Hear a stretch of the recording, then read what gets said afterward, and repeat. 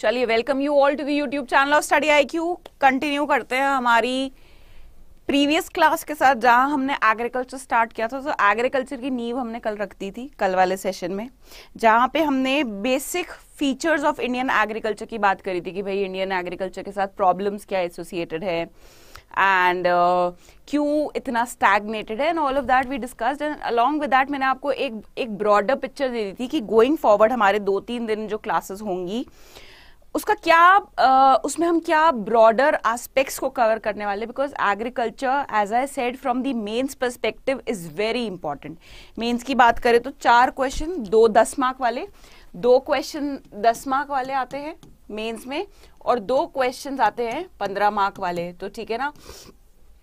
तो total of fifty number कहाँ से आ रहे हैं आपके सीधा सीधा एग्रीकल्चर से आ रहे हैं so definitely we can not afford to miss that and also agriculture इतना भी कुछ बहुत डिफ़िकल्ट नहीं है टू अंडरस्टैंड क्योंकि इकोनॉमिक्स के साथ क्या है इकोनॉमी में बच्चों को दिक्कत आती है कि मैम हमें रिलेशन नहीं स्टैब्लिश करना आ रहा between the inflation and the R B I policies लेकिन एग्रीकल्चर तो बहुत ही स्टैटिक uh, टॉपिक है। इसमें जो बच्चे रट्टा मारने में अच्छे हैं so they can actually take a leverage of this topic and अपने मार्क्स को काफ़ी इम्प्रूव कर सकते हैं। तो काफ़ी सारे बच्चों ने ज्वाइन कर लिया है so good evening good evening good afternoon Preeti, Yusuf, Damayanti, Vidya, Manan, Supreet. अच्छा आज से अच्छा चलो पहले फिर से एक बार मैं बता देती हूँ। अभी भी कुछ लोग मैसेज कर रहे हैं कि मैम क्या हम एडमिशन ले ले बैच में? तो अभी भी आप मुझे समझ नहीं आ रहा, सोच क्यों रहे हैं इस चीज़ को लेके कि एडमिशन लेना है कि नहीं? आई यू नॉट क्लियर कि आपको 2023 में पेपर निकालना है? If you are clear with that respect कि 2023 में पेपर निकालना है ठीक है ना? तो इस चीज़ में कंफ्यूजन क्यों आ रही है कि हम एडमिशन uh, लेके नहीं? ऑब्वियसली आपको एडमिशन लेना ही लेना है बिल्कुल लेना है क्योंकि एक गाइडेड अप्रोच हो जाएगी और फटाफट if you will see no आपका इम्पैक्ट आप फ़र्स्ट डे से आपको दिखने लग जाएगा आपकी प्रिपरेशन पे कि भाई तीन घंटे की क्लास जब आप अटेंड करोगे फाउंडेशन में how much enriched you will feel even 2024 2023 attempt नहीं है 2024 अटेम्प्ट है आपका। तो भी पढ़ना तो है ही, आज से छह महीने बाद एनरोल करोगे तो अभी पढ़ के खत्म करके नोट्स बना के आगे बढ़ो ना, ठीक है?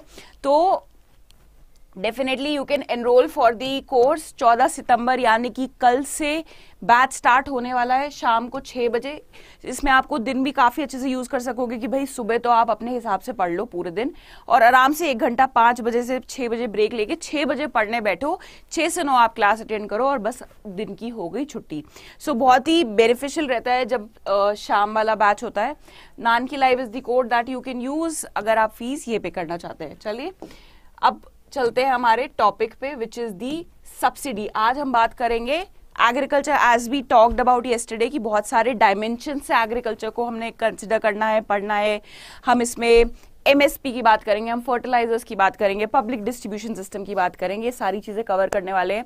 आज की हमारी क्लास में हम सब्सिडी को डिटेल में पढ़ेंगे कि क्या रैशनल है अगर सब्सिडी डिस्ट्रीब्यूट करी जाती है, क्या चैलेंजेस हैं एज वेल एज उसके क्या ड्रॉबैक्स हैं, क्या कोई इंटरनेशनल ऑर्गेनाइजेशन है जो जो सब्सिडीज को रेगुलेट करती है सब्सिडीज पे कोई नॉर्म्स बनाए हुए हैं, ये सारी बातें हम आज डिस्कस करने वाले हैं। आज से हम थोड़ा क्लास का पैटर्न चेंज करेंगे स्टूडेंट्स अच्छा एक तो सबसे पहले, फिर से गुड आफ्टरनून जो भी मुझे बार बार गुड आफ्टरनून कह रहा है I am acknowledging each and every students wishes over है ना वॉट विल डू इज़ कि क्या होता है, आप लोग ना बीच बीच में डाउट्स पूछते रहते हो तो उस वजह से क्या होता है ना, मेरा क्लास का मोमेंटम बन पाता है और बहुत सारे डाउट्स रह भी जाते हैं which I really do not like to miss मैं आपका एक एक स्टूडेंट का डाउट एड्रेस करना चाहती हूँ that is what my intention is so what we'll do is कि 20 मिनट पढ़ा करेंगे, फिर बीच में 10 मिनट डाउट लेंगे या 5 मिनट डाउट लेंगे एंड देन अगेन हम 20 मिनट या जितने भी मिनट पढ़ेंगे. सो दिस इज़ हाउ आज से हमारी जो क्लास का स्ट्रक्चर हुआ करेगा। So all you have to do is you have to maintain the काम मैं आपको अपने आप बोलूँगी कि now I am open to doubts अब आप पूछिए तो बीच में मैसेज मत करते रहिएगा। Ma'am optional ma'am book ma'am ये twenty minutes starting from now what is the time if you if we could align our watches so अभी मेरी स्क्रीन पे हो रहे हैं three thirty five so my doubt window will open for all of you at three fifty ठीक है fair enough या even before that जब दो तीन टॉपिक्स कवर हो जाएँगे. So in order to maintain the flow of the class so now let us start with the subsidies ठीक है? अगर आप अपनी बुक में देखोगे, आप कहोगे कि मैम सबसे पहले तो क्रॉपिंग पैटर्न के बारे में बात करी हुई है, फिर उसके बाद इरिगेशन कवर किया हुआ है तो मैंने आपको बोला था कि एग्रीकल्चर जो टॉपिक है, वो मैं अपने अकॉर्डिंग पढ़ाऊँगी, ठीक है ना? क्योंकि मेरे दिमाग में एक फ्लो है, जो मैं आपके दिमाग में भी डालना चाहती हूँ क्योंकि मुझे ऐसा लगता है कि अगर आप इस तरीके से एग्रीकल्चर को the way I am teaching उस तरीके से अगर आप उसका फ्लो मेंटेन करोगे तो आपके लिए स्टोरी बिल्डिंग बहुत ईजी हो जाएगी। सो so, मैंने आपको बोला भी था इनफैक्ट कल की क्लास में बोला था कि do not try to align whatever we are taking here in the agriculture with your book definitely agriculture जो चैप्टर 12 है आपकी किताब में, वो थोड़ा सा उसमें जो सब्सिडी है इफ़ यू सी थोड़ा सा बाद में. But I am taking it first so what you need to know is आपको आज पेन और पेपर लेके बैठना है. जिसने मेरा एक, मैंने मैंने अपने जो टेलीग्राम चैनल इकोनॉमिक्स विज्ञान की, वहाँ पे डाला भी था कि आज की क्लास में आपको पेन पेपर लेके बैठना पड़ेगा. तो अभी भी नहीं लाए हैं तो फटाफट से ले आइए. बिकॉज़ जो आपकी बुक में दे रखा है, आपकी बुक में जो हमारी इंडियन इकोनॉमी वाली बुक है इसमें सब्सिडीज को एक अलग डायमेंशन से कवर किया हुआ है विच आई फील थोड़ा सा हमें और डिटेल में बात करने की ज़रूरत है। That is why we will deviate a little from what is given in the book ठीक है? Are we good to go are we good to go चीज़ें समझ आ रही हैं आपको? जो मैंने बोला समझ आ रहे हैं, उसमें कुछ कुछ पूछना है या स्टार्ट कर सकते हैं class I think I think कर सकते हैं। So let start so subsidies के बारे में बात करें तो सब्सिडी कल्चर स्टार्ट कब हुआ था इंडिया में? सब्सिडी कल्चर स्टार्ट कब हुआ था? सब्सिडी कल्चर का जो जेनेसिस है it is it, it is it, it took birth in India somewhere around late 1960s 90 late 1960s में ऐसा क्या हुआ था? लेट 1960s 60s में आया था इंडिया में ग्रीन रेवोल्यूशन क्यों? क्योंकि हमें अपनी फ़ूड सिक्योरिटी को स्टेबलाइज करना था. अदरवाइज़ क्या हो रहा था? इंडिया क्या हो रही थी? इंपोर्ट डिपेंडेंट हो रही थी. हम दूसरे देशों पे डिपेंडेंट थे भाई कि आ, हमारे पास खाना होगा कि नहीं होगा. तो एक बहुत ही महान शख्सियत है। बहुत ही मान शख्सियत है, जिनका नाम है M Swaminathan. He took the lead and उन्होंने बोला कि नहीं we have to change how we do और how we conduct the agricultural practices हमें high yielding variety of crops को यूज़ करना पड़ेगा। अब high yielding variety of crops क्या होती है? कि भाई जिनको उगाओ तो उनका जो यील्ड होता है एच वाई वी बोलते हैं उनको, जब उनको उगाओ तो जो उसमें से उपज आती है, वो बहुत ज़्यादा होती है, ठीक है? अब अगर हम हाई यील्डिंग वेराइटी क्रॉप्स को यूज़ कर रहे हैं तो ऐसा नहीं है कि सीड्स को सो करने से ही अपने आप चमत्कार हो जाएगा। उसके साथ हमें यूज़ करना पड़ेगा इरिगेशन फैसिलिटीज़ उसके साथ हमें फर्टिलाइजर्स का भी एक्सटेंसिव यूज़ करना पड़ेगा because that is the demand for the seeds हर एक सीड का अपना अपना रिक्वायरमेंट होता है तो एच वाई वी का भी रिक्वायरमेंट था कि उनको लार्ज स्केल पे फर्टिलाइजर्स एंड पेस्टिसाइड्स डालने मतलब उनको डालना पड़ेगा मिट्टी में, ठीक है? अब बेचारा हमारा जो किसान है वो तो गरीब, एक तो वैसे ही अभी देश एक्सप्लॉयटेशन से निकला था, आज़ादी मिली थी, पैसा था नहीं जीडीपी जो हमारी कंट्री की है कुछ बहुत खास थी नहीं, बहुत ही मासिव लेवल पे पावर्टी और गरीबी थी हमारे देश में। तो उस टाइम उस टाइम जो ऑलरेडी गरीबी से जूझ रहा है, वो कहाँ से पैसे लेके आएगा? ठीक है? तब गवर्नमेंट ने इंटरवीन किया, क्योंकि because they wanted people to adopt people मतलब farmers they wanted farmers to adopt this high yielding variety of crops so that acha अच्छा जो क्रॉप्स है, वो ग्रो करें, ज़्यादा यील्ड आए और हमारा जो फ़ूड सिक्योरिटी का मोटिव है और हमारा जो इम्पोर्ट बिल है, वो कम हो। In order to promote the acceptance of high yield variety of seeds government ने क्या दी? सब्सिडी उन्होंने बोला, तुम्हारे पास पैसे नहीं है, लो। फर्टिलाइज़र महँगा लग रहा है, ये लो उसके ऊपर सब्सिडी बिजली महँगी लग रही है, ये लो उसके ऊपर सब्सिडी लेकिन यूज़ करो। मॉडर्न इरीगेशन फैसिलिटी यूज़ करो। तुम्हें लग रहा है, भैया, पानी का, पानी की फैसिलिटी नहीं है या पानी का बिल भरना पड़ रहा है। है तो ये लो पैसे। हम आपके हम आपको पैसे दे रहे हैं सब्सिडाइज रेट पे चीज़ें दे रहे हैं। So that is the genesis that is that is where the subsidy culture was born in India ठीक है? सो so, ये मैं इतना सारा इसलिए लिखा है एक एक लाइन नहीं पढ़ूँगी इसलिए कि भाई जब मैं आपको पीडीएफ दूँगी क्लास के बाद तो आपके लिए इसको एज अ नोट्स के फॉर्म में रीड करना इजी हो जाएगा। सो so, यही सब जो मैंने अभी आपको स्टोरी बताई है वही सब यहाँ पे लिखा है सब्सिडी कल्चर में। ठीक है? चलो। आपकी बुक में अच्छा पहले पहले पहले ये देखते हैं। There are two types of subsidy culture in India India में एग्रीकल्चर में दो टाइप से सब्सिडी दी जाती है। आप कहोगे मैम एक तो हो गया अच्छा एक हो गया in the form of price support एक हो गया in the form of price support और दूसरा हो गया in the form of providing subsidise inputs तो आप कहोगे मैम जो किताब में लिखा है क्या वो गलत है? उसमें लिखा है कि ये जो आ, डायरेक्ट सब्सिडीज है और इनडायरेक्ट सब्सिडीज है, वो क्या है? अगर आप देखोगे that is the mode of distribution of subsidy कि डायरेक्टली आप तक पहुंचेगी या इनडायरेक्टली पहुंचेगी, ठीक है ना?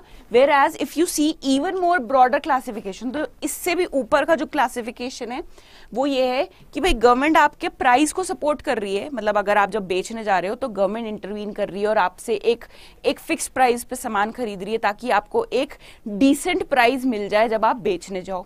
या फिर आपको सब्सिडाइज रेट पे सीड्स प्रोवाइड कर रही है।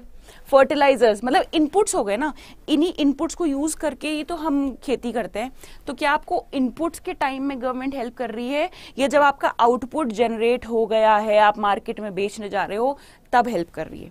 So that is the two type two broad types of subsidy culture in India subsidy कौन से कौन से फील्ड्स में दी जाती है? किस किस तरीके की सब्सिडी दी जाती है? उसको भी देख लेते हैं पहले। सबसे पहले तो आ गई फ़ूड सब्सिडी फ़ूड पे subsidy to provide essential eatable items जैसे कि चावल, जैसे कि गेहूँ, कितने सस्ते रेट पे दिया जाता है, ठीक है ना? ताकि भाई कोई भी भूखा ना मरे।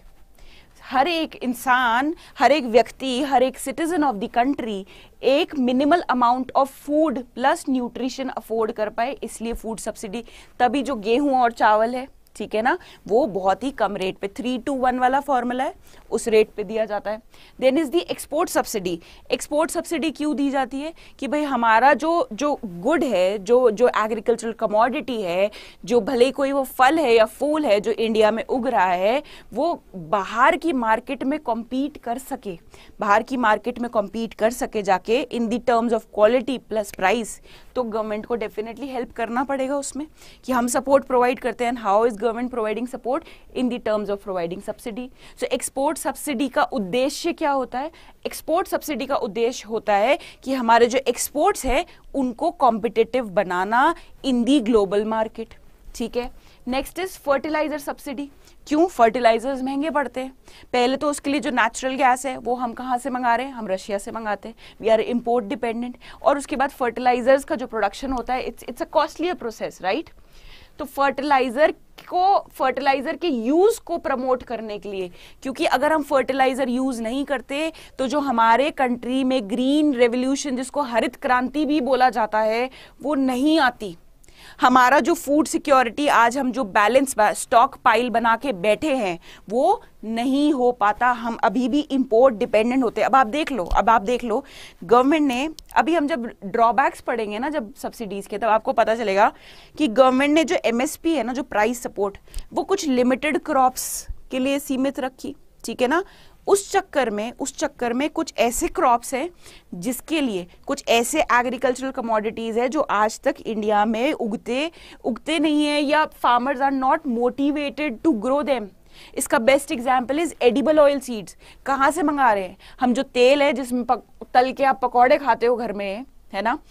वो वो हम अभी भी कहाँ से? इंडोनेशिया और मलेशिया से मंगा रहे हैं। क्यों? क्योंकि गवर्नमेंट ने उसमें सपोर्ट नहीं प्रोवाइड किया। सपोर्ट नहीं प्रोवाइड किया तो फार्मर को लगा भैया जहाँ पे ठीक सपोर्ट मिल रहा है हम तो वही उगाएँगे। तो सारा का सारा ध्यान कहाँ चला गया? उन लिमिटेड एग्रीकल्चरल क्रॉप्स पे जहाँ पे सब्सिडी मिल रही थी राइट चलो देखिए कहाँ से कहाँ पहुँच गए हम फर्टिलाइज़र सब्सिडी से? सीधा इंडोनेशिया पहुँच गए।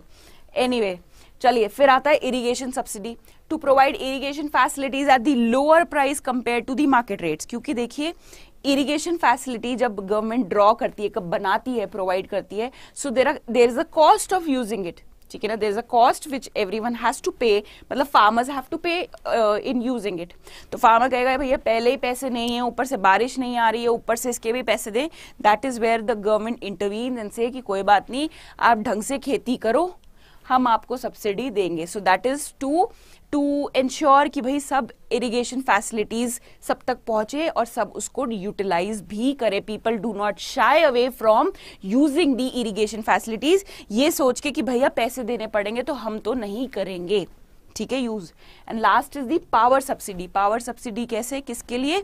To to provide the electricity at a lower rate अब तो इनफैक्ट इलेक्ट्रिसिटी से भी आगे बढ़ चुकी है government towards the renewable energy जहाँ पे फार्मर्स को वो सोलर पैनल्स इंस्टॉल करके दे रही है कि भैया अगर अभी तक आपके यहाँ पे जो इलेक्ट्रिसिटी लाइन है वो नहीं पहुँची है इलेक्ट्रिसिटी सप्लाई नहीं पहुँची है तो कुछ पार्ट ऑफ़ जो एनर्जी है, आप सोलर पैनल्स से ड्रॉ कर सकते हो। जो लाइट है, जो बल्ब है आपके घर का, उससे जला सकते हो। तो कुछ तो आपके कॉस्ट ऑफ़ लिविंग पे फ़र्क पड़ेगा। तो गवर्नमेंट इनडायरेक्टली इस तरीके से सपोर्ट कर रही है। ठीक है?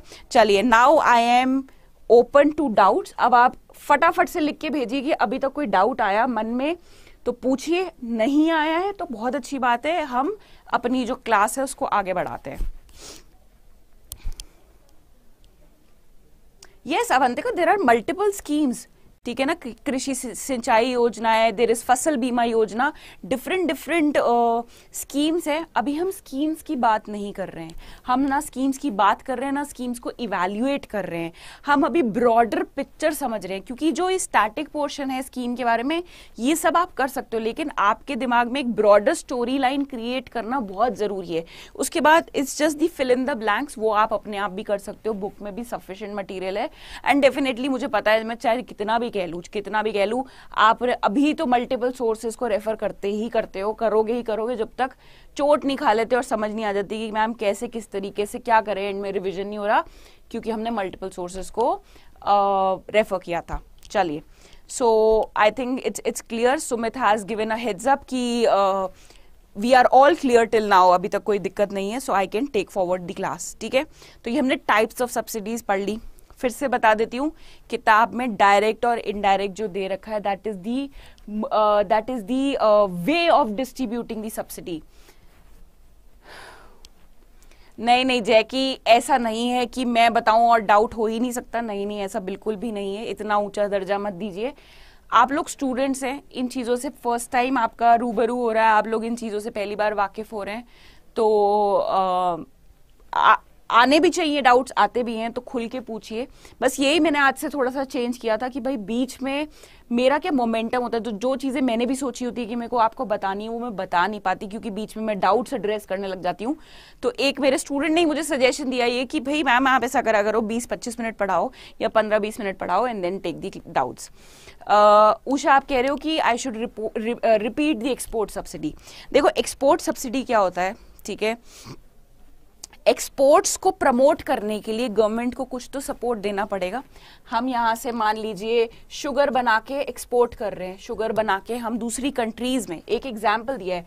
शुगर हो गया, या आप मैंगो मानोगे, ठीक है ना? आम होता है, ठीक है ना? हम मैंगो बहुत सारी कंट्रीज़ में एक्सपोर्ट करते हैं, ठीक है ना? अब मैंगो को एक्सपोर्ट करने के लिए भी खर्चा लगता है।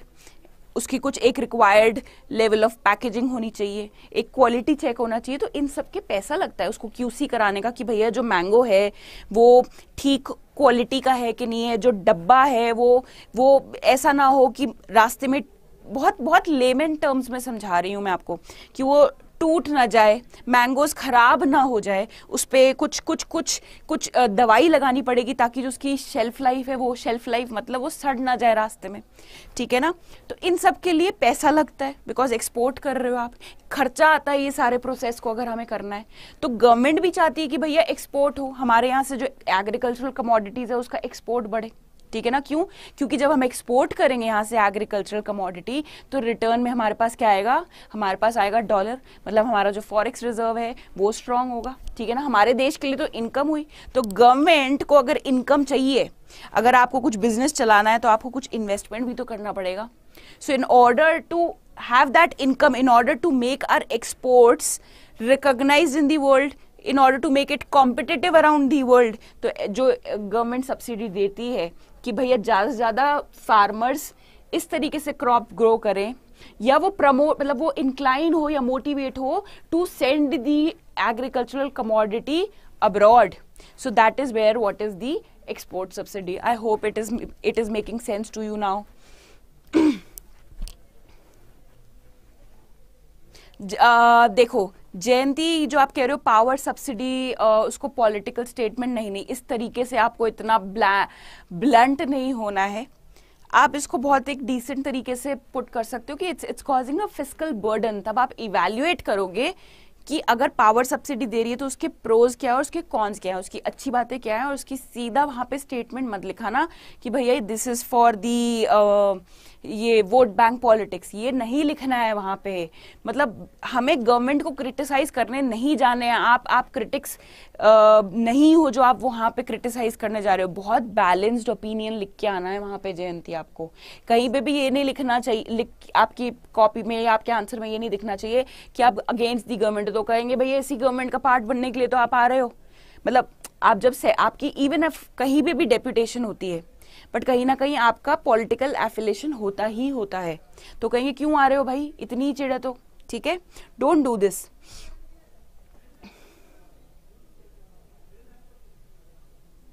yes Supreet very बिल्कुल सही कह रहे हो कि वो कॉम्पिटेटिव रेट्स हो जाते हैं। एक डाउट शायद विद्युत का रह गया है। विद्युत सबके पास, मैंने क्या बोला बोलता economics as a subject evolve हुआ था? लिमिटेड सोर्सेज हैं भाई एंड जीएसटी आने के बाद तो वैसे ही गवर्नमेंट स्टेट गवर्नमेंट के पास जो सोर्सेज ऑफ़ रेवेन्यू है, वो लिमिटेड हो गए हैं। कितना कम दो तीन ही तो चीज़ें जिसके ऊपर वो वैट लगा पा रही है। पैसा ही नहीं है तो खर्चा कैसे करेगी सब्सिडी पे?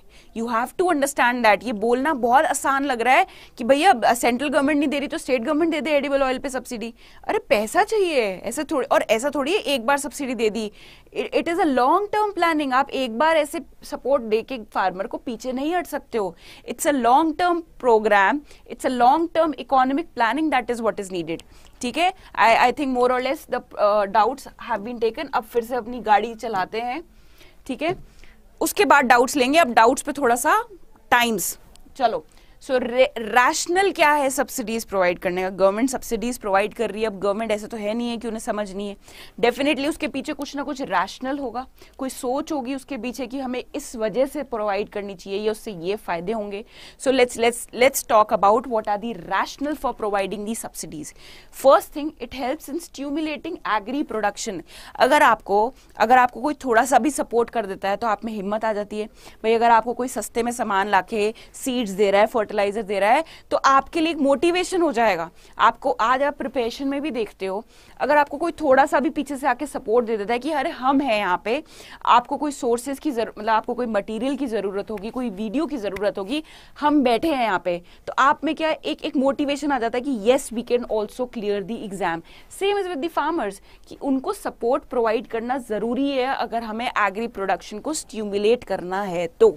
So it helps in stimulating the agri production which in turn would generate the employment obviously अगर एग्रीकल्चरल प्रोडक्शन अच्छा होगा अगर एग्रीकल्चर का प्रोडक्शन अच्छे लेवल पे होगा तो उतनी ज़्यादा लेबर की रिक्वायरमेंट होगी। लेबर की रिक्वायरमेंट होगी तो मतलब क्या? एम्प्लॉयमेंट जनरेट हो रही है। एम्प्लॉयमेंट जनरेट हो रही है तो मतलब बेरोजगारी कम हो रही है। तो ये सारे सीक्वेंशियल कनेक्शन होते हैं। यही तो मैं कहती हूँ कि economy is all interrelated it it is all interrelated कि अगर एक चीज़ अच्छी होगी तो उसका रिपल इफ़ेक्ट होगा सिर्फ़ एग्रीकल्चर पे नहीं, बल्कि दूसरे सेक्टर्स पे भी उसका प्रभाव पड़ेगा। अब मान लो कि अगर एग्रीकल्चरल इनकम मतलब अगर फार्मर खुश है, उसको अच्छा रिटर्न मिल रहा है, जो भी वो बेच रहा है तो वो जाके जो स्पेंड करेगा, वो स्पेंड तो मार्केट में ही करेगा। वो शैम्पू यूज़ करेगा, वो तेल यूज़ करेगा, वो बच्चे को पढ़ाएगा, वो हो सकता है हेल्थ सर्विसेज़ कंज्यूम करेगा, वो इंश्योरेंस सर्विसेज़ कंज्यूम करेगा। तो क्या हो रहा है? अल्टीमेटली कंजम्पशन बढ़ रहा है इकोनॉमी में? जस्ट आपके दिमाग में चीज़ें कनेक्ट करवाने की कोशिश कर रही हूँ, ठीक है? आप मान लो इस सैलरी वर्ड यूज़ करते हैं एक बार के लिए for your ease of understanding मान लो फार्मर को अच्छी सैलरी आने लग गई सामान बेचने से तो वो सैलरी खर्च करेगा। हो सकता है वो छोटा मोटा टू व्हीलर भी ले ले। तो इससे टू ऐसे अगर हर फार्मर के साथ हो रहा है तो टू व्हीलर की डिमांड बढ़ेगी। टू व्हीलर की डिमांड बढ़ रही है तो आप देखो ना प्लास्टिक जो चाहिए जो फाइबर चाहिए जो मेटल चाहिए उस टू व्हीलर को बना, बनाने के लिए उसकी डिमांड बढ़ेगी। तो एक भी सेक्टर में जब गवर्नमेंट वर्क करती है तो ऐसा नहीं है कि सिर्फ़ उसी सेक्टर का उत्थान होता है। It has a ripple effect on the associated sectors वो कंज्यूमर गुड्स हो सकता है, वो पहले घी नहीं यूज़ करता हो। अब वो घी यूज़ करेगा। घी यूज़ करेगा तो जो जो लाइफ स्टॉक सेक्टर है, भाई घी की डिमांड बढ़ी तो लाइफ स्टॉक सेक्टर में प्रोडक्शन ज़्यादा होगा, क्योंकि डिमांड ज़्यादा है तो वो लोग ज़्यादा प्रोड्यूस करेंगे। ठीक है? So yes so income increase अगर इनकम इंक्रीज हो रही है तो consumption then production employment and yes again so this this is a cycle एक बार ढंग से चालू हो जाए तो फिर आगे आगे आगे चलती जाती है। ठीक है? Then these are provided to encourage farmers to use new inputs क्यों? कैसे? आज कोई भी नई चीज़ हम लेके आते हैं। तो गवर्नमेंट अब आप अब आप देखो सिंपल सी भूल जाओ सब्सिडी पेटीएम नया आया था जब ठीक है ना? पेटीएम ने खूब कैशबैक बांटे हैं। स्विगी जब नया आया था तो उसने खूब कैशबैक बांटे। क्यों? क्योंकि वो चाहता था कि लोग उनका ऐप यूज़ करे ठीक है ना? सो so, ऐप यूज़ करने के लिए they they have to provide some incentive कुछ एक मोटिवेशन होना चाहिए कस्टमर आए और स्विगी के थ्रू फ़ूड ऑर्डर करे. या पेटीएम के थ्रू अपने फ्रेंड को जो पैसे है वो भेजे या मोबाइल रिचार्ज करे. ठीक है ना? क्यों? क्योंकि जब भी कोई नई चीज़ आती है तो हम सब इट्स अ ह्यूमन टेंडेंसी हम रिलक्टेंस हम एक एक एक इनहिबिशन शो करते कि हम हम नहीं एक्सेप्ट करते या हम एकदम से नहीं ट्राई करना चाहते, क्योंकि लगता है कहीं नुकसान ना हो जाए, खर्चा बढ़ जाएगा। सो so, अब इस चक्कर में क्या होता है? कोई नई चीज़ जो बहुत beneficial is Paytm not beneficial for us is Swiggy not beneficial for us certainly it is right similarly in order to encourage जो नए इनपुट्स होते हैं भाई फार्मर कहता है पहले ही पैसे नहीं है हमारे पास। अब हम और जगह हाथ नहीं मार सकते अपने पैसे इन्वेस्ट नहीं कर सकते फंसा सकते। Right right so the money is being provided a support is being provided to them कि भैया उनको वो नए इनपुट्स यूज़ करे, क्योंकि अल्टीमेटली वो नए इनपुट्स यूज़ करने से फ़ायदा किसका होने वाला है? फ़ायदा तो फार्मर का ही होने वाला है, ठीक है? This also this also way of redistribution of income redistribution of income कैसे हो रही है? टैक्स कलेक्ट कर रही है गवर्नमेंट टैक्स कलेक्ट एक सेकेंड यस इसको अलग लिख लेते हैं। How is it leading to redistribution of income redistribution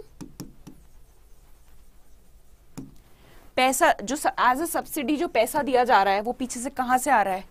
Some part of it tax के थ्रू कलेक्ट किया होगा। क्यों? क्योंकि टैक्स इनकम है गवर्नमेंट की। Tax is a source of income और you can say a source of revenue इस revenue को ही तो रीडिस्ट्रीब्यूट करती है। ऐसा नहीं कि सारा का सारा जो आप आज से टैक्स देना बंद कर दो, क्योंकि मैम ने बोला था कि जितना भी हम टैक्स पे करते हैं ना पापा, उसकी सब्सिडी दे दी जाती है फार्मर को तो आज से हम नहीं देंगे टैक्स ऐसा नहीं है, ये मत सोच लेना, क्योंकि आप में से डेफिनेटली ऐसे बहुत सारे ब्रेरी इंटेलिजेंट बच्चे जो ये भी सोचेंगे कि हमारा सारा टैक्स का पैसा फार्मर के पास जा रहा है। ऐसा नहीं है। Some part of it there are other sources of revenue also for the government. One of the major sources, tax direct and indirect both, जो हम पढ़ चुके हैं ऑलरेडी ठीक है ना? उसका कुछ, उसी में से तो हिस्सा गवर्नमेंट किसका एज अ सब्सिडी तो क्या हो रहा है? रीडिस्ट्रीब्यूशन ऑफ़ इनकम हो रहा है। टैक्स किस पे ऊपर लगाया जाता है? जिसकी इनकम एक पर्टिकुलर स्लैब में फॉल करती है। मतलब वो टैक्स अफोर्ड कर सकता है पे करना। भाई, आपकी एक कैटेगरी में आ रही है इनकम तभी तो टैक्स लग रहा है।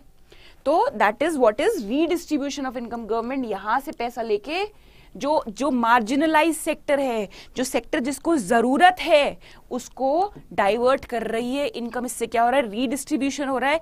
इससे क्या आएगी? पैरिटी पैरिटी बोले तो पैरिटी बोले तो इक्वालिटी जो रीजनल डिस्पैरिटीज हैं, जो इनइक्वालिटीज हैं फार्मर अगर आपके घर पे डायरेक्ट आ जाए कि मेरे को हर महीने दो हज़ार रुपए दे देना, क्या आप दोगे उसको? आप कभी नहीं दोगे।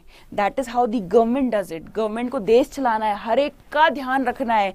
That is how the government does it right चलिए। Next is input subsidy is essential for the poor farmers to have access to better facility. Input subsidy like inputs पे जो सब्सिडी दी जाती है, जैसे कि फर्टिलाइज़र यूज़ करने पे, जैसे कि हाई क्वालिटी सीड्स खरीदने के लिए, ठीक है ना? So these are necessary sometimes to give to the poor farmers so they also so that they can also have access to better facilities वो भी अच्छी चीज़ें यूज़ करे सो so दैट जो अच्छा उपज आए अच्छा अनाज उगे सो so दैट उनको जो प्राइस रियलाइजेशन वो अच्छा हो। अदरवाइज़ वो विश्व साइकिल ऑफ़ पावर्टी में ही ट्रैप रह जाएँगे। ठीक है? And the last one is अब अच्छा गवर्नमेंट का बहुत बड़ा मोटिव होता है कि भाई प्राइवेट पार्टिसिपेशन भी है एक पर्टिकुलर सेक्टर में। अब अचानक से प्राइवेट पार्टिसिपेशन अगर आप एक्सपेक्ट करोगे, एक ऐसे सेक्टर में जहाँ पे बहुत ज़्यादा डेवलपमेंट आज तक नहीं हुआ है, या जहाँ पे स्टैग्नेशन है private sector will never venture क्यों? क्योंकि उनका ultimate motive is profit earning ठीक है ना? तो गवर्नमेंट को एक बेस प्रोवाइड करना होता है। कि भैया कुछ बेस कुछ कुछ कुछ हाथ हम आगे बढ़ाते हैं, फिर जब, फिर कुछ हाथ तुम आगे बढ़ाना। और इस तरीके से हम एग्रीकल्चर को उठा देंगे या किसी भी it is just not about the agriculture sector it is it is in the tourism sector as well कुछ अनएक्सप्लोर्ड एरियाज़ हैं कुछ ऐसे एरियाज़ हैं इंडिया में जहाँ पे टूरिज़्म का बहुत अच्छा पोटेंशियल है बट वहाँ पे आसपास इंफ्रास्ट्रक्चर ही डेवलप नहीं है रेल रोड कनेक्टिविटी नहीं है। So what government is doing government उन एरियाज़ में कनेक्टिविटी प्रोवाइड कर रही है। जैसे ही वहाँ कनेक्टिविटी पहुंचेगी, अपने आप प्राइवेट सेक्टर कूद जाएगा, अच्छे होटल्स वहाँ आ जाएँगे, अच्छे रिसोर्ट्स आ जाएँगे, अच्छी फैसिलिटीज़ वहाँ आ जाएँगी। So government has to put in efforts government को दिखाना पड़ेगा कि yes we are working basic चीज़ें हम प्रोवाइड कर देंगे, बाकी अब प्राइवेट सेक्टर अपने आप पहुँच ही जाता है। सो so, अगर अगर एग्रीकल्चर में भी गवर्नमेंट चाहती है कि प्राइवेट पार्टिसिपेशन होए क्योंकि प्राइवेट पार्टिसिपेशन का एक आप इस एंगल से मत देखो कि भाई वो आएँगे और खा जाएँगे गरीब आदमी को और उनका सिर्फ़ मोटिव प्रॉफिट अर्निंग होता है। नहीं भाई जो इनोवेशन है जो टेक्नोलॉजी है जो एक्सपर्टीज है वो भी वो लेके आते हैं। तो एक एक हाफ़ साइडेड ओपिनियन मत रखो। और अगर हाफ़ साइडेड ओपिनियन रखोगे आंसर राइटिंग में वो रिफ्लेक्ट होगा। किसी भी चीज़ को एक एक पूरे होलिस्टिक उसका आपका पर्सपेक्टिव होना चाहिए। वन साइडेड अप्रोच रखोगे, वो ऑटो आपको पता भी नहीं चलेगा। आपके आंसर्स में रिफ्लेक्ट करने लग जाएगा और नंबर जो है वो ड्रॉप हो जाएँगे। आप सब, आप जस्टिफाई नहीं कर पाओगे अपने आंसर को राइट चलिए सो रैशनल हो गया सब्सिडीज का कि हमें क्यों देनी चाहिए? हमने टाइप्स ऑफ़ सब्सिडीज देख ली, उसके बाद हम देखते हैं इश्यूज़ क्या हैं। भाई सब्सिडी दे तो बहुत अच्छा अच्छा देख लिया। कि सब्सिडी से एक एक एक नए फार्मर को पता चलता है कि भैया चीज़ें कैसे यूज़ करनी है मोटिवेशन आ जाता है एंड सपोर्ट हो जाता है नए नए उस आ, उसको यूज़ करने का मतलब नई टेक्नोलॉजी नए एडवांस थिंग्स को यूज़ करने का। कुछ इश्यूज़ भी तो होंगे because there is always two sides of coin अगर अगर हेड्स है तो टेल्स भी है राइट तो what are the what is the other side of और the issues related to subsidies सबसे पहला is heavy physical burden government के ऊपर बहुत बड़ा बर्डन होता है सब्सिडीज का बट दैट इज़ इनएविटेबल करे भी तो करे क्या? But at the other side of it it it causes lot it causes a burn in the pocket of the government right yes विद्युत मल्टी डायमेंशनल थिंकिंग चाहिए. एक limited perspective से answer नहीं लिख सकते हो। भाई, आप एक ऑफिसर बनने वाले हो। अगर आप एक ही तरह एक एक तरफा नज़रिया लोगे किसी भी, आप जब आप कभी आपकी पोस्टिंग होगी आप कहोगे, भाई कोई एक पर्टिकुलर स्कीम चल रही है बंद कर देनी चाहिए। क्योंकि आपको ऐसा लगता है कि ये चीज़ खराब है। नहीं you can not do that हो सकता है उस पर्टिकुलर स्कीम से वहाँ के जो लोग हैं, उनको फ़ायदा पहुँच रहा हो। तो आपको इवेल्युएट करना पड़ेगा दोनों साइड से। वो जब तक नहीं होगा, जब तक आप इन चीज़ों को इम्बाइब नहीं करोगे, इस एटीट्यूड को अपने अंदर नहीं धारोगे, तब तक नहीं हो पाएगा। ठीक है? चलिए so heavy physical burden definitely excessive use of natural resources भी कई बार हो जाता है। भाई, अगर गवर्नमेंट सब्सिडी दे रही है कि तुम इरीगेशन फैसिलिटीज़ यूज़ करो तो ले नल का खोल के भाग गया फार्मर नल का खोल दिया। पता है, फ्री में मिल रहा है पानी बिल नहीं भरना पड़ेगा। जो बिजली यूज़ हो रही है ट्यूबवेल को चलाने के लिए या मोटर को चलाने के लिए तो बिल तो पे नहीं कर रहे हैं। तो चलो, चला दो। वहाँ पे पाइप पे चला दो, छोड़ दो। क्यों? क्योंकि पैसा तो भरना नहीं है। तो चलो, पैसा नहीं भरना है फार्मर का तो अच्छा हो गया। लेकिन क्या हो रहा है एट दी सेम टाइम जो रिसोर्सेज वो डिप्लीट हो रहे हैं। ग्राउंड वाटर टेबल क्यों पंजाब और हरियाणा में नीचे चली गई है? For this reason only right it also have a deterrent effect on environment low fertilizer हम देंगे सब्सिडी तुमको। लेकिन इन्वायरमेंट पे क्या इफ़ेक्ट आ रहा है कि सॉइल की फर्टिलिटी इतनी डिटोरेट कर गई है कि वो रिप्लेनिश ही नहीं कर पा रही है अपने आप को। It is taking multiple multiple months कि वो अपनी फर्टिलिटी को गेन कर पाए। तो अब क्या करोगे? फर्टिलाइज़र से एक बार तो तुमने उगा लिया था सामान। अब नेक्स्ट टाइम वो ज़मीन ही बंजर हो गई क्योंकि इतना एक्सेसिव यूज़ हुआ था फर्टिलाइजर्स और केमिकल्स का right sometimes the benefit do not reach the targeted group तभी तो वो तब यहाँ पे जाके आता है वो डायरेक्ट और इनडायरेक्ट सब्सिडी का खेल, ठीक है? कि भाई जिसके लिए हमने इंटेंड करी, जिसके लिए डिज़ाइन करी थी स्कीम वहाँ तक पहुँच ही नहीं पा रही सब्सिडी सो so ये भी एक बहुत बड़ा issue we are talking about the issues ठीक है? सो ये भी एक बहुत बड़ा इशू है. And then is inclination towards growing particular crops only example दोगे, ये छोटी सी लाइन छोड़ के नहीं आ जाओगे. आप फिगर डालोगे यहाँ पे कि किस तरीके से, किस तरीके से प्राइस सपोर्ट कुछ पर्टिकुलर क्रॉप्स को देने से हम कुछ क्रॉप्स के प्रोडक्शन में बिल्कुल पिछड़ गए हैं.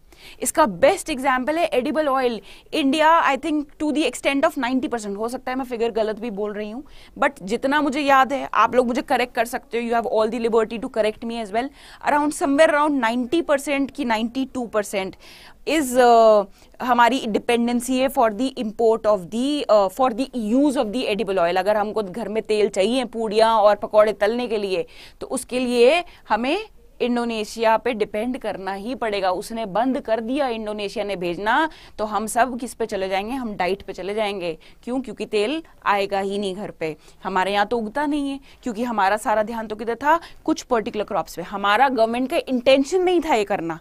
गवर्नमेंट का इंटेंशन नहीं था ये करना बट uh, क्योंकि वो सपोर्ट ही कुछ लिमिटेड क्रॉप्स को दे रहे थे तो फार्मर ने बोला, भैया, हम तो यही उगाएँगे, बाकियों पे हम क्यों ध्यान दें? जहाँ पे अच्छा प्राइस रिकवरी मिल रहा है या जहाँ पे सपोर्ट मिल रहा है, वही उगाया जाएगा. Yes obviously cancer cases are increasing in fact एक in the next class I come I get back to you on this कुछ कुछ किसी सर्दन स्टेट में जहाँ तक मुझे याद है, आंध्र प्रदेश या तेलंगाना में कुछ ऐसा हुआ था।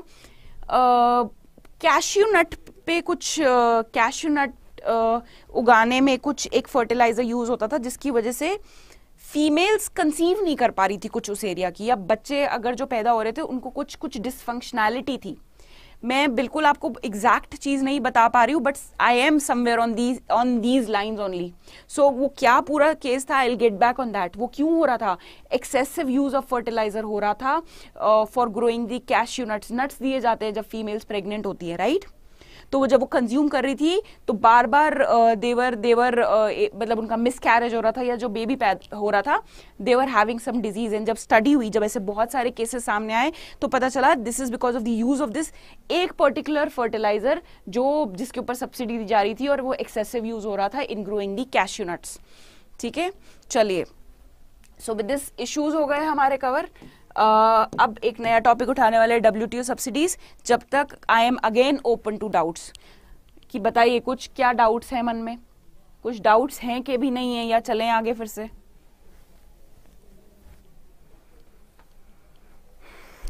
Are we are we having any doubts काफ़ी अच्छे एग्जाम्पल्स दिए हैं आज आप सबने very good that is what is being encourage और ऐसा ही एक प्रोडक्टिव सेशन होना चाहिए हमारा। ताकि कुछ अगर आप यहाँ एग्जाम्पल्स लिखते हो तो बाकी बच्चे भी उन एग्जाम्पल्स से समझे। क्योंकि आपके पास तो क्या है गूगल है। You can also google along with the class and tell and provide the more examples that that is what is needed collective learning Yusuf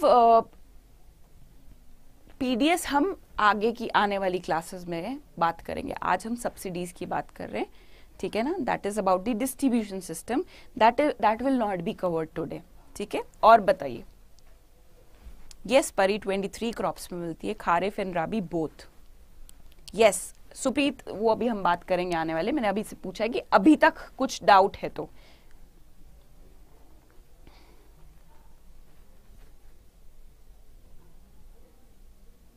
Piyush as I said मुझे बिल्कुल याद नहीं आ रहा कि वो बस ऑल आई रिमेम्बर इज़ वो तेलंगाना या आंध्र प्रदेश में से किसी एक स्टेट में हुआ था।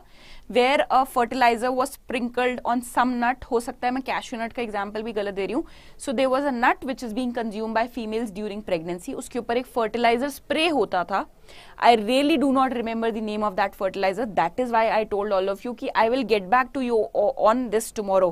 अचानक मुझे याद आया तो मेरे को लगा ये शेयर करना चाहिए example but I am really not able to recall the name of that fertiliser and that particular nut as far as I remember it is cashew nut but नहीं रिकॉल हो रहा है सो so इसलिए मैंने बोला कि मैं कल I, मैं एग्जैक्ट इन्फॉर्मेशन एंड डिटेल्स के साथ कल आऊँगी आपके पास। अर्नव ये topic as I said in the starting आज हम थोड़ा सा आउट ऑफ़ दी हमारी बुक जाके पढ़ रहे हैं। हमारी जो बुक है स्टडी आई वाली उसमें ये टॉपिक्स नहीं है। इसलिए मैंने क्लास की स्टार्टिंग से पहले एक वीडियो भी भेजा था टेलीग्राम ग्रुप पे कि आज आपको पेन और पेपर लेके बैठना है, क्योंकि ये टॉपिक्स आपको बुक में नहीं मिलेंगे। So that means that itself means आपको नोट्स बनाने हैं इसके। ठीक है? विद्युत government is bringing revolution the edible oil Andaman Nicobar इन सब में जो they are providing the subsidies वो national edible mission national edible oil mission लेके तो है ये government. So government has already started working on this because they want to reduce the dependency on import for the edible oil ऐसा नहीं है कि government is not working yes government has started working because there are lot of complexities with respect to this particular crop ठीक है ना? इसका gestation period बहुत लंबा होता है ठीक है ना? और इस इसका इसका आ, ये बंचेस में उगते हैं there are lot many other complexities so government but government obviously there there a mission on edible oil production तो उसके बारे में आप पढ़ सकते हो। जैसे गूगल करोगे तो आपको मिल जाएगा। So so, all I want to ask अभी तक जितना पढ़ा उसमें I think there is no problem ठीक है? चलिए सो अब now will move on to the W T U and subsidies now why W T U is very important when we talk about the subsidies because subsidies कहीं ना कहीं trade को भी distort करती हैं. Free and fair flow of trade को किस तरीके से डिस्टॉर्ट करती हैं? भाई, जब हम एक्सपोर्ट सब्सिडीज दे रहे हैं, या हम यहाँ पे अपने फार्मर्स को प्राइस सपोर्ट दे रहे हैं तो उससे क्या हो रहा है, मान लो कि यूजुअली एक जस्ट एक बहुत ही ले मैन एग्ज़ाम्पल दे रही हूँ ताकि आपको समझ आ जाए चीज़ें। मान लो कि चावल उगेगा आठ आठ रुपए पर केजी में। गवर्नमेंट ने सपोर्ट दे दिया तो हो गया प्राइस चार रुपए पर केजी राइस का। ठीक है ना? Whereas if you see other countries में चावल उगता है बीस रुपए पर केजी में। ठीक है ना? या अदर कंट्रीज़ में भी मान लो अदर कंट्रीज़ में मान लो आठ रुपए पर केजी में ही उग रहा है चावल। बट इंडियन गवर्नमेंट ने राइस पे सपोर्ट दे दिया। प्राइस पे सपोर्ट दे दिया राइस पे, चावल की खेती पे सपोर्ट दे दिया। तो अब इंडियन फार्मर क्या करेगा? यहाँ पे भेजेगा चावल। और इस कंट्री के लोग कहाँ का चावल प्रेफर करेंगे? वो प्रेफर करेंगे इंडिया का चावल क्यों? क्योंकि उनको सस्ता पड़ रहा है। भाई हम एक्सपोर्ट भी कर देंगे तो हो सकता है इसकी कीमत हो जाए साढ़े छह रुपए। ठीक है ना? तब भी इंडिया का जो चावल है वो सस्ता पड़ा। ठीक है ना? क्यों? क्यों? क्योंकि गवर्नमेंट सब्सिडी दे रही थी। तो अल्टीमेट इफ़ेक्ट क्या हुआ कि उस पर्टिकुलर कंट्री मान लो इस कंट्री का नाम दे दो ए ठीक है ना? अब ये जो ए कंट्री के प्रोड्यूसर्स हैं चावल के, वो कहेंगे, भैया, हमारा क्या? हम जो भी उगाते हैं, वो बिकता नहीं है, क्योंकि इंडिया का जो चावल है, वो इतना हमें कट थ्रोट कॉम्पिटिशन दे रहा है। आठ रुपये जो मिनिमम कॉस्ट ऑफ़ प्रोडक्शन है, उससे भी कम इंडिया से चावल आ रहा है, वो भी इंपोर्ट होके, ठीक है ना? तो what is it leading to it is leading to destruction of domestic market in the country uh it is leading to the distortion in trade free flow थोड़ी फ्री प्रैक्टिस थोड़ी है। हम क्या कर रहे हैं? इस तरीके से सब्सिडी दी गई है कि यहाँ पे पूरी मार्केट हम कैप्चर कर लें। क्यों? क्योंकि हमारा एक्सपोर्ट करके भी साढ़े छह रुपए पड़ रहा है, जो कि वहाँ के मिनिमम कॉस्ट ऑफ़ प्रोडक्शन से भी ऊपर है। सॉरी नीचे। ठीक है ना? सो दैट इज़ वाई अब ये सारे मैटर्स कहाँ रेगुलेट होते हैं?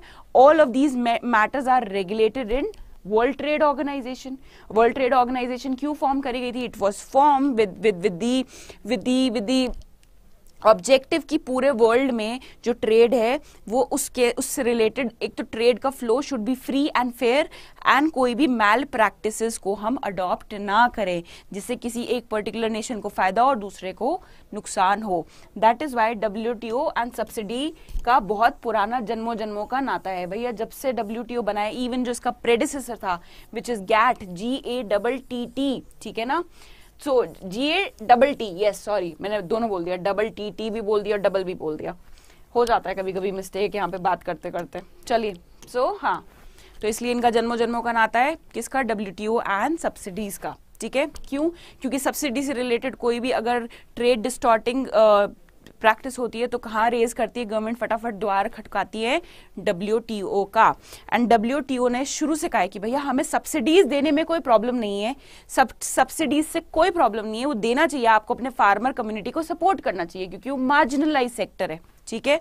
बट आपकी सब्सिडीज ऐसी ना हो कि it is causing trade distorting barriers ठीक है? It should not distort the trade practice और the free flow of trade इस रिगार्ड में एक agreement on agriculture A O A बोला जाता है। ये कंक्लूड किया था स्टार्ट किया था उरुग्वे राउंड में। ये सब आपको जानने की ज़रूरत नहीं है कि कहाँ से स्टार्ट हुआ था। All you need to know is कि जैसे ही डब्ल्यूटीओ का फॉर्मेशन हुआ था 1995 में 1995 में उसी टाइम कंक्लूड किया गया था एक एग्रीमेंट जिसका नाम है एग्रीमेंट ऑन एग्रीकल्चर ठीक है? ये आपको आपकी किताब में एग्रीकल्चर वाले चैप्टर में नहीं मिलेगा तो मत ढूंढना नोट्स बना लो इसके। So agreement on agriculture conclude किया गया था। इस एग्रीकल इस एग्रीमेंट में, इस एग्रीमेंट में कुछ ऐसी बातें करी गई थी, कुछ कुछ कॉमन चीज़ों पे सारे नेशंस ने अग्री किया था कि हम ऐसी प्रैक्टिसेस फॉलो नहीं करेंगे और अगर हम सब्सिडीज देंगे, हम सब्सिडीज देंगे तो इन कुछ डिफाइंड लिमिट्स में देंगे। ठीक है? This particular agreement also talked about reducing the subsidies भाई गोइंग फॉरवर्ड अभी आप दे रहे हो क्योंकि सारी कंट्रीज़ अभी डेवलप कर रही है। कुछ ऑलरेडी डेवलप्ड थी 1995 में भी। कुछ अभी डेवलपिंग है, कुछ लीज डेवलप है। लेकिन अल्टीमेटली आपको क्या करना है? You have to try the government has to put in efforts कि भाई धीरे धीरे जो सब्सिडीज का लेवल है, उसको बिल्कुल कम कर देना और going forward it should be totally eliminated ठीक है? अब डब्ल्यूटीओ सब्सिडीज को, जो डब्ल्यूटीओ ने सब्सिडीज को तीन कैटेगरी में डिवाइड किया। तीन कैटेगरी क्या है? ग्रीन बॉक्स एम्बर बॉक्स कोई एम्बर बोलता है, कोई अंबर बोलता है, मैं एम्बर बोलती हूँ, ठीक है? And the last one is the blue box अब जो सब्सिडीज मतलब that is the way how they have categorise the subsidies अगर कोई सब्सिडी को ग्रीन बॉक्स में डाला जा रहा है दैट मीन्स वो ऐसी सब्सिडी है विच इज़ नॉट डिस्टॉर्टिंग और which is not causing harm to anyone ठीक है ना? एनी मतलब किसी उससे, उस सब्सिडी को देने से किसी दूसरे देश को या खुद के देश को कोई हार्म नहीं हो रहा है। So there is no limit to it जैसे जो रेड जो सिग्नल होता है ट्रैफ़िक सिग्नल उसमें ग्रीन का मतलब होता है गो हेड ठीक है ना? You can just easily pass जब तक ग्रीन बत्ती, हरी बत्ती है। So similarly, if WTO has categorized one particular subsidy as a green box subsidy, green box subsidy, तो मतलब कोई आपत्ति नहीं है उससे किसी दूसरे देश को नुकसान नहीं हुआ फॉर एन एग्ज़ाम्पल अगर कोई गवर्नमेंट सब्सिडी प्रोवाइड कर रही है क्रॉप के इंश्योरेंस से अरे तो वो अपने क्रॉप को इंश्योर ही तो कर रही है। आज यहाँ पे फ़सल बीमा योजना है तो वो गवर्नमेंट क्यों प्रोवाइड कर रही है कि भाई अगर मानसून या वेदर एट्रोसिटीज की वजह से अगर आपका क्रॉप है जो खराब हो जाता है, नहीं उग पाता है तो आपको जो इंश्योरेंस कंपनी है वो आपको कवर देगी, ठीक है? क्या ये सब्सिडी प्रोवाइड करने से, सोच के देखिए, इससे अमेरिका या हमारे कोई नेबरिंग कंट्री को नुकसान होगा? नहीं सिर्फ़ इसका एक होल होलसेल पर्पज है कि भैया फार्मर जो है, वो बच जाए, उसको अगर वहाँ नुकसान हो गया तो इंश्योरेंस कंपनी उसका लॉस रिकवर कर दे। So any such subsidy which form falls इसका जस्ट एक एग्ज़ाम्पल है इंश्योरेंस का दूसरा एग्ज़ाम्पल रिसर्च एंड डेवलपमेंट के लिए। कोई सब्सिडी दी जा रही है गवर्नमेंट द्वारा कि भैया एग्रीकल्चर सेक्टर में रिसर्च एंड डेवलपमेंट बढ़े। ठीक है ना? नई नई टेक्नोलॉजीज़ आए।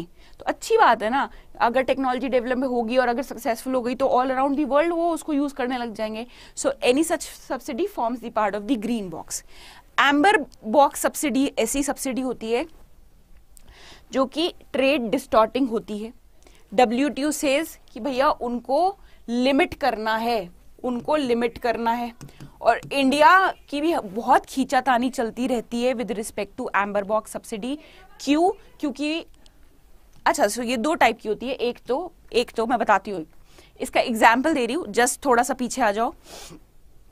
एम्बर बॉक्स सब्सिडी में क्या? इनपुट बेस्ड सब्सिडी की इनपुट सस्ता प्रोवाइड कर रहे हो। इनपुट सस्ता प्रोवाइड कर रहे हो तो फार्मर को फ़ायदा होगा। उसका कॉस्ट ऑफ़ प्रोडक्शन नीचे आ जाएगा। कॉस्ट ऑफ़ प्रोडक्शन नीचे आया तो साढ़े छः रुपये में वो चावल बेचने लग जाएगा दूसरे देश में। ठीक है? और दूसरा होता है प्राइस सपोर्ट गवर्नमेंट बोल रही है कि भैया हम इतने में खरीदेंगे। तुम जितना मर्ज़ी उगा लो हम एक पर्टिकुलर प्राइस में आपसे चावल खरीद लेंगे या गेहूँ खरीद लेंगे। तो प्राइस सपोर्ट प्राइस सपोर्ट के नाम पे क्या कर रही है गवर्नमेंट? मिनिमम एमएसपी दे रही है? मिनिमम सपोर्ट प्राइस तो डब्ल्यू में दूसरी जो कंट्रीज़ है, उन्होंने फटाफट से दलील फ़ाइल करी कि भैया, ये तो ट्रेड को डिस्टॉर्ट कर रही है। इंडिया की गवर्नमेंट एमएसपी के नाम पे सब्सिडाइज कर रही है प्रोडक्शन ठीक है ना?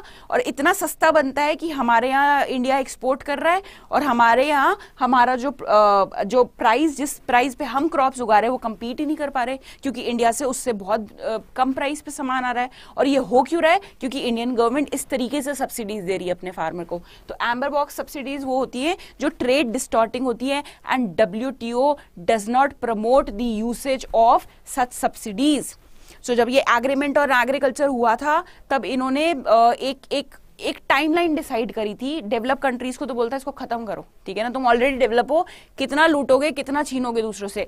डेवलपिंग नेशंस के लिए सॉरी डेवलप्ड नेशंस को भी बोलता कि गोइंग बहुत कम टाइम दिया था कि इसको अब आप खत्म कर दो डी मिनिमलिस ठीक है ना?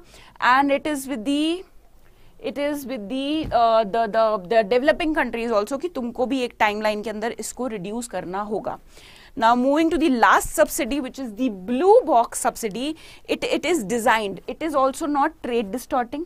इसके ऊपर भी कोई लिमिट नहीं है। जैसे कि ग्रीन बॉक्स में आपने देखा देर इज़ नो लिमिट अगर गवर्नमेंट उसको दे रही है तो। Similarly with the blue box also there is no limit impose by the W इसको यूज़ करने के लिए।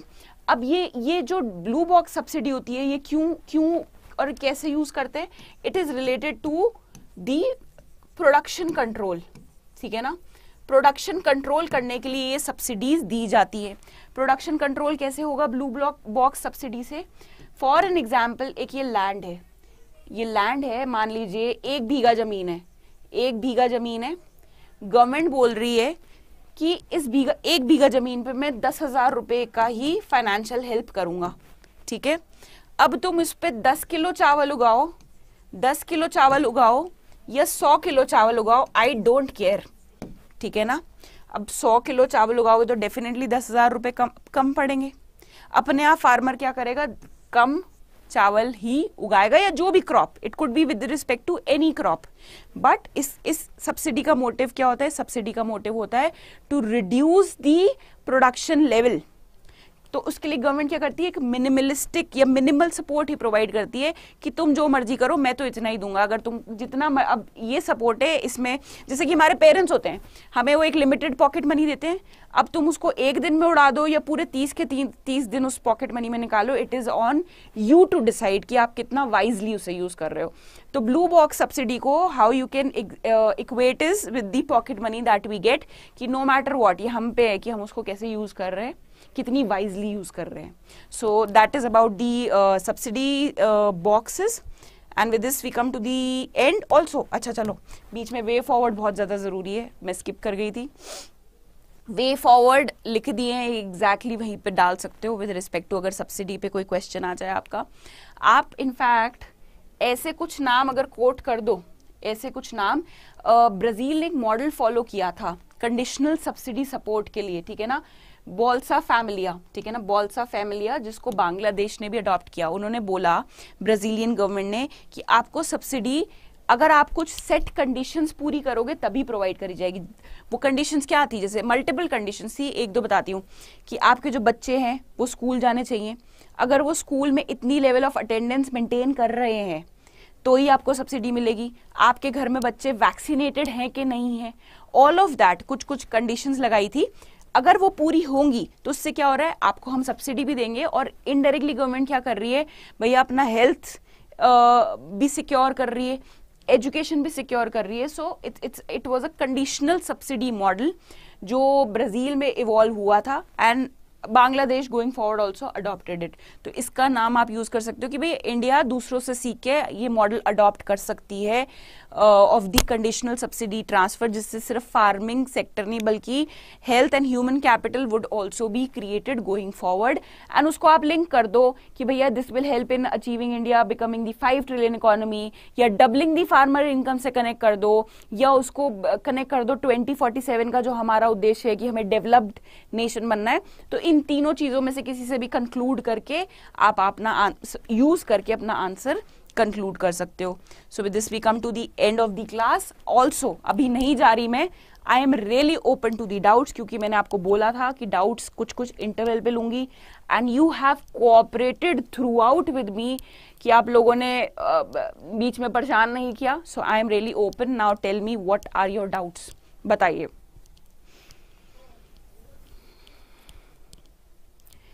करिश्मा, इसको अपना पर्सनल चैट बॉक्स मत बनाइए। पर्सनल आपको बनाना है। There are other modes of communication उनको यूज़ करिए और वहाँ पे आराम से बताइए कितनी आपकी तैयारी हुई है या कितनी तैयारी नहीं हुई है। But do not make it your personal chat box over here ठीक है? अर्नव एम्बर बॉक्स वो होता है जो कि ट्रेड को डिस्टॉर्ट करता है। ठीक है ना? गवर्नमेंट सब्सिडी दे रही है। ठीक है गवर्नमेंट सब्सिडी दे रही है, लेकिन उस सब्सिडी से, उस सब्सिडी से कुछ मान लो मान लो for example government rice production पे सब्सिडी दे रही है। राइस प्रोडक्शन पे सब्सिडी दे रही है, ठीक है ना? क्या सब्सिडी दे रही है? मान लो कि हम चावल जो जितने भी बनाओगे, आपको उसके ऊपर, आपको सारा अच्छा राइस प्रोडक्शन जैसे कि आपको सारा इनपुट फ्री में दिया जाएगा, ठीक है ना? इनपुट फ्री में दिया जाएगा। अब जितना भी प्रोडक्शन हुआ फार्मर के लिए तो it's kind of free of cost क्यों? क्योंकि उसका कोई खर्चा ही नहीं हुआ। उसकी सिर्फ़ मेहनत लगी थी उन चीज़ों को जोतने में। ठीक है ना? क्यों? क्योंकि सारा जो इनपुट था कॉस्ट ऑफ़ जो रॉ मटेरियल था, वो तो गवर्नमेंट ने फ्री में प्रोवाइड कर दिया। ठीक है ना? क्या था एम्बर बॉक्स में? इनपुट रिलेटेड सब्सिडी भी थी। तो गवर्नमेंट ने बोला, उसमें जो भी जितना भी फर्टिलाइज़र यूज़ होगा सीड यूज़ होंगी, और जो भी चीज़ें चाहिए होती हैं एक राइस को उगाने के लिए, वो हम आपको फ्री में प्रोवाइड करेंगे। मतलब अब जितना भी क्रॉप उगा, वो सारा मेरा प्रॉफिट है। अब मेरा प्रॉफिट है तो मैं उसको चार में बेचूं, पाँच में बेचूं, छह में बेचूं। ठीक है ना? अगर गवर्नमेंट नहीं प्रोवाइड करती तो कैसे कैसे कॉस्ट पे आता? कॉस्ट कैसे कैलकुलेट करता एक फार्मर वो देखता कि पहले इनपुट्स का कितना खर्चा लगा था मेरा। इनपुट्स का कितना खर्चा लगा था, उसको डिवाइड करता प्रोडक्शन से तो पर यूनिट पर केजी प्रोडक्शन कॉस्ट आती। बट अब कुछ ऐसा है ही नहीं है। उसको यूज़ ही नहीं उसको ये फॉर्मूला यूज़ ही नहीं करना पड़ेगा क्योंकि everything is free for him तो वो चार में बेचे पाँच में बेचे छह में बेचे हर, हर एक चीज़ ही इनकम है फार्मर के लिए ठीक है?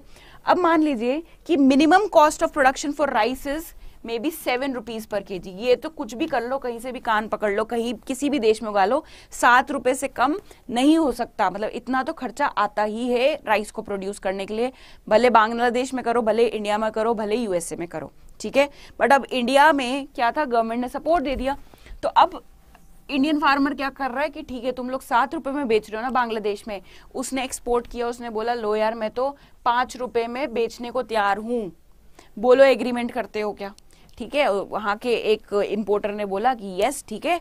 तो एक पूरा शिप कार्गो भर के मुझे पाँच रुपए के हिसाब से इतने किलो चावल भेज दो। ठीक है? तो वहाँ का फार्मर तो परेशान हो गया ना, वो कहेगा, यार, ऐसा क्या हो गया कि पाँच रुपए में बेच रहे हैं? ये मिनिमम कॉस्ट ऑफ़ प्रोडक्शन है, अभी तो इस पर प्रॉफिट भी जुड़ेगा। तो अल्टीमेटली इफ़ यू सी क्या हो रहा है कि वहाँ का फार्मर कॉम्पीट नहीं कर पा रहा है इंडिया के राइस से। क्यों? क्योंकि गवर्नमेंट ने इंडियन गवर्नमेंट ने इस तरीके से सब्सिडी प्रोवाइड करी थी कि जो ये, जो प्रैक्टिस हो रही है it is a malpractice it's a malpractice that is why it is it is categorise under amber box I hope I I made sense to you अच्छी बात है सुमित की सारे टॉपिक्स क्लियर हो गए। यस सब्सिडीज uh, एक एक एक ब्रॉडर कॉन्सेप्ट है सब्सिडी एक ब्रॉडर कॉन्सेप्ट है उसका कुछ एक पार्ट होता है फ्रीबीज ठीक है ना? So we will come to that also if you want to take pick up that debate but not now आज बिल्कुल साफ़ साफ़ एंड बड़ा साफ़ सुथरा uh, पढ़ाई पे ध्यान रखते हैं, ये थोड़ा सा एक अलग डिविएशन हो जाता है। दो सब्सिडीज एंड फ्रीबीज पे मैं बात कर चुकी हूँ। एक मैराथन सेशन लिया था मैंने last to last Saturday Sunday वहाँ पे मैंने सब्सिडीज फ्रीबीज को कवर किया था। ठीक है? अभी क्लियर अच्छा कोई और डाउट है बताइए।